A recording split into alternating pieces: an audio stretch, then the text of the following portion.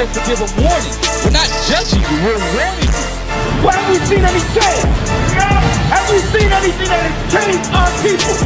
Changed our neighborhood?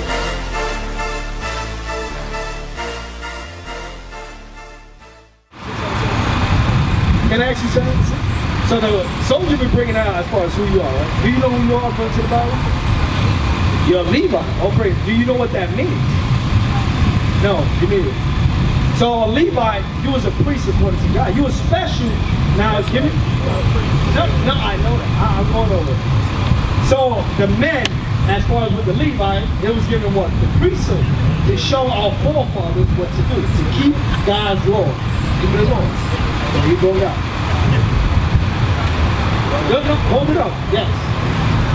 So in the Levite, the women, they would dress in modest. So once again, Levi, the so-called Haitian.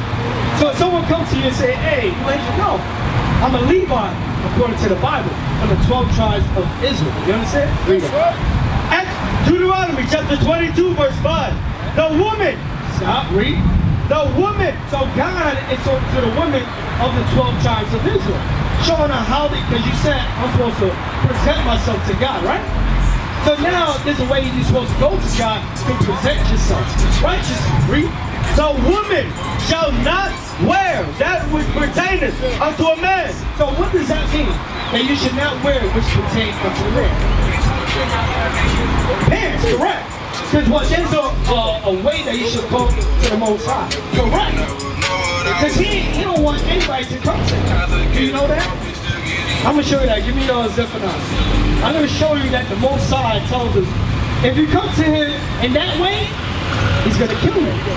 There's always a righteous way that we're supposed to go to the Most High. Because you wanted to come to the Most High, correct? Because you want to get yourself right. You want to repent and keep God's law, right? You got it? Read it. Zephaniah chapter 1 and 8. And it shall come to pass. So the Most High say it's gonna happen. So now it says, I'm giving you what you're supposed to do. How you supposed to present yourself to the Most High. And if you don't present yourself the way that He wants you to, this is what He's gonna do. Read. It shall come to pass in the in the and it shall come to pass Meaning it's going to happen. What's in the, happen? In the day of the Lord's sacrifice the day of the Lord's judgment when He comes back to kill. Read. that I will punish the princes Stop. He said He's gonna punish the princes. Read. and the king's children Read. and all such as are clothed with strange apparel.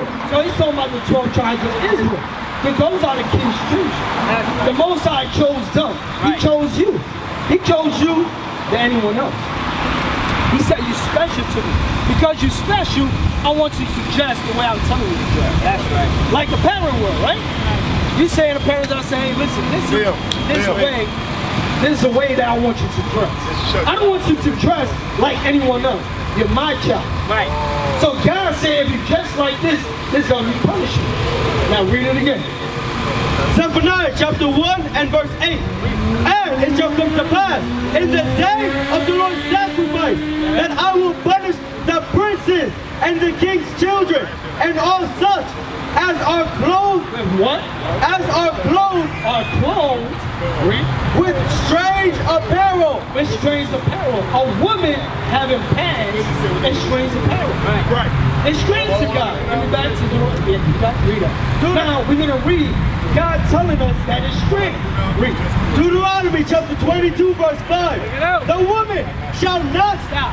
Read that again. The woman shall not Because God is saying you shouldn't do it because this is strange to me.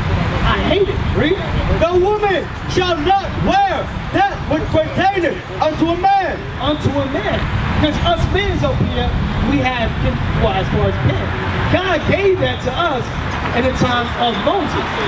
And he was also a Levite. Did you know that? Moses came from you came from the same tribe as Moses. That's right. That's right. You look as far as your father will look just like Moses if he was here. If he was here, I said, yeah, he looked just like Moses. The complexion and everything. That's right. He's the same line as Moses. And guess what? You have the same bloodline. That's, That's right. According to the Bible, the Bible says that. Do you understand that? Now, I'm going to show you more how a woman's supposed to dress. Give me your Titus. Because this is how a woman is, no, Timothy. I want that. Read it. I'm going to show you how God tells a woman to dress. Read. First Timothy chapter 2, verse 9. You know. In like manner also, that woman, Now who? that woman, Like we said, so like man also that woman, so the women are supposed to do this. Three, that woman adorn themselves in modest apparel. Do you know what modest means? Modest apparel? That's right. Not too revealing. Because believe it or not, we can see as far as the shape of your body. We're not supposed to see that. You also say, listen, I want you to be modest. Modest. Read. with shamefacedness With shamefacedness, read. and sobriety, And sobriety, read on. not with braiding hair Read. or gold or pearls or costly array. So God is saying, I don't want you to be all about the beautiness, but I need you to be modest. That's Be beautiful. But not make that a pedestal. Don't make yourself being so beautiful above anything else. What's supposed to be above is you keeping God's law. Right. So now we read that what you're supposed to be modest, right? Now let's get more law. Give me numbers. So on the dress that you're supposed to be wearing, these are more commandments. How you supposed to be? Yeah, give me that. Uh, no, I don't want that. Give me this one. Give me this one. This, this is what we're showing. Because back in the days, the, our foremothers never used to wear pants. They never used to wear a pant. It started coming out back in the days. Right. Uh, let's see some photos right here. Oh no, no, not that. Right here. You see our sister. They had the bottom of her as wearing a skirt. You see that? But they was taking her because what they were selling to slavery. Now read this. Read. Numbers chapter 15, verse 38.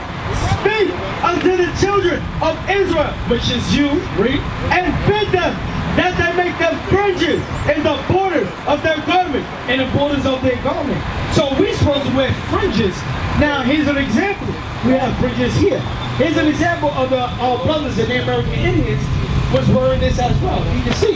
Now look at hold on, so pick that up again. So now I want to show you again our foremothers wearing skirts. Look, this is on the um, top of slavery. And believe it or not, in Haiti, our people, our women still wear skirts, right? Does your mother wear a skirt? Does your grandmother wear a skirt? Wonder why? Because they know it, it was never accustomed to wear pants. That's right. It was never accustomed. Now give it back. Nope, give it back to uh, Deuteronomy 20, 25. They understood as a woman how they're supposed to be dressed. So now as you coming to God, there's a way that you're supposed to be dressed. Read that again. Just, I, the only reason why I keep iterating it and bring it out so you can understand. And make sure you know what to do. Read. Deuteronomy chapter 22, verse 5. The woman shall not wear that which pertaineth unto a man. Because what a lot of our sisters, when we show them this, they hear it. When they go back home, they're like, you know what? I don't want to do it.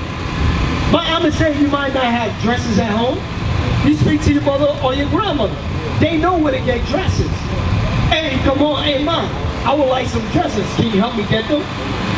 I don't have money. Can you just help me buy one? And upon that modest that you put in, you listen to what God says. Right. You know what happened when you do that? Give me um, um Acts. Acts 3.19. I'm gonna show you. So you put on a dress, you put on fringes in the border in blue, you doing what God says. That's right. And I'm gonna show you. This is what he's saying here. Read. Acts chapter 3, verse 19. Repent, What? repent, Repent means to change. That's what God said. Hey, change the way you dress. Change the way you think. Right. Change the way you call yourself. Because believe it or not, you're not a Haitian. That's what God said. Repent. Whatever they call you in this world, that's not who God calls you. Right. So he's telling you to repent. Get out of the way. Stop calling yourself that. Stop dressing yourself as that. Do what I told you. Read it again. repent ye therefore, and be converted. and be converted. Giving this control converted. As far as change. That's what we are here to show people to change. The condition that they in is not good. Right. Our people is on the bottom. Look at Haiti. Our people's on the bottom. Our people is suffering from poverty. They we went over there not too long ago. How long ago we went? About a couple of weeks ago. Our people. We went out there not to just look at our people. We went out there to teach them, to show them who they are. Show them, listen, you are God chosen people. We understand what poverty you in, but you gotta hearken unto God first. Right. That's what we're showing you. Read that. Psalms chapter 19, verse 7. The law of the Lord is perfect. God's laws is perfect. God's laws is the only way out. You understand that, sis? That's what we went to Haiti to show our people. You understand that, sis? We are here showing that God's chosen people are the so-called blacks and. We're showing how women are supposed to conduct themselves. How they're supposed to go to God. Read that again. Psalms chapter 19, verse 7. The law of the Lord is perfect. So we just read that God's laws are perfect. Because in the churches, they don't say that. They say that God's laws are done away. But we read it here, God's law changes. Change your community. Change the way you think. Change the way how you was raised. Change the way you was dressed. Because according to the Bible, you ain't supposed to wear pants. Read that again. The law of the Lord is perfect, converting the soul. Converting your soul. Because when we out here showing you, listen, God say you're supposed to dress like this. Right. It converts us all. Oh man, you know what? I used to think that God told me I gotta change. I gotta listen to what He say. What He say is right. Look, what do you say that? That's right, because He's the only one that gave us His Bible, gave us 18 His. 30. I'm gonna get that next. Yeah, get that. Now hold it. Psalms chapter 18, verse 30. You know. As for God, his way is perfect. Read that again. As for God, his way is perfect. Now, get me back, but hold this. I want to get back to this. Hold it. Read that again. Psalms chapter 19, verse 7. You know. The law of the Lord is perfect, The law of God is perfect. Read. converting the soul. Changing yourself. Read. The testimony of the Lord is sure, Yeah. making wise the simple. Making wise is simple. Now get me back to Psalms 18. Making wise is simple. Showing our people who they are. Showing them the right way. Because once again, God is going to repeat it again. Read. Psalms chapter 18, verse 30. As for God, his way is perfect. Now, how God's ways is perfect? Because we, I'm telling you that what? You're supposed to leave them pants and come to the skirt. Right. How, how is that perfect? Because believe it or not, our sisters, when they wear pants, they get a lot of diseases over it. Infections. And now when that it puts a manly spirit on them. Right. Have you ever heard in the house? Uh, uh, who wears the pants in the house? That's considered who who got the most authority in the house. Right. And this society today, they put women on a pedestal. Right. They put a woman above men. That's right. God says no. God said a woman is not above a man. A man is above a woman. But that's what we out here teach you. No, give me back to Psalm 18. We'll read that again. Psalms chapter 18, verse 30. As for God, his way is perfect. The word of the Lord is tried. It's try read.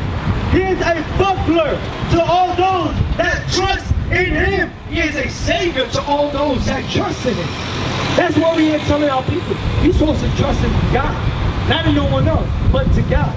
Because God is, a, you understand, God laws what gives you life. Give me that Proverbs. God's law is what gives you life. Because is, the things that you're living today ain't bringing you anything.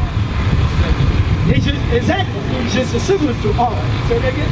Uh, just bring it, uh, as far as Proverbs 7 and 2. Read it. This is the book of Proverbs, chapter 7, verse 2. Because what we show you is God's word gives you life. That's His commandments, when you hearken unto it, when you listen, when you apply His law, gives you life. Read that. Wow. This is the book of Proverbs, chapter 7, verse 2. Yeah. Keep my commandments. What God said? Keep my commandments and Stop. God says to keep His commandments. Right. Before you put it on a skirt with fringes and put it on a blue. That's saying keep my commandments. Right. Keep the Sabbath. Right. Read that. keep my commandments and live. That's So right. God said, keep my commandments and live. Give me 1 Corinthians 11. keep my commandments and live. So far, we have shown you who you are according to the Bible, correct? Who you are. A Levite. That's right. You know you saying that you are God's chosen people. Right. You acknowledging that God came through you. Right. That this Bible here is for you. Right. That right there, God loves. God is saying, oh, she's listening to me. Say that again. She understand my words. Right. She understand that my ways are better than anyone's ways. That's right. You understand?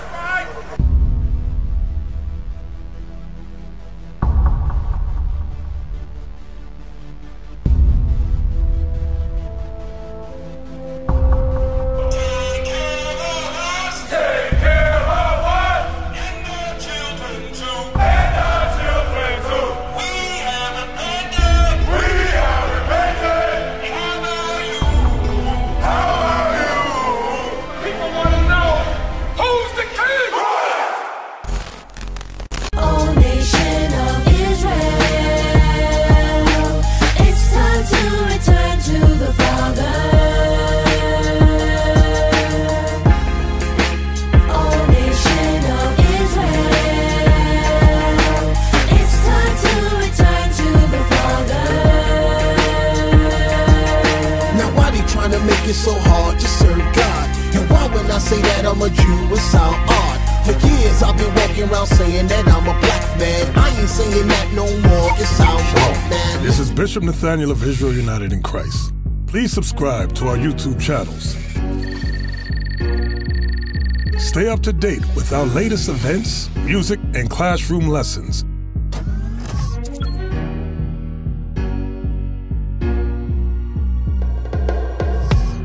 IUIC plans to continue visiting different countries where this gospel has not been preached before. IUIC needs your help in pushing this truth.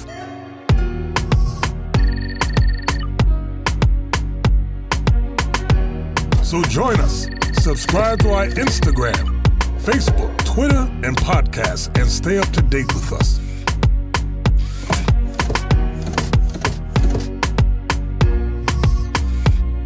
More information, please visit www.israelunite.org.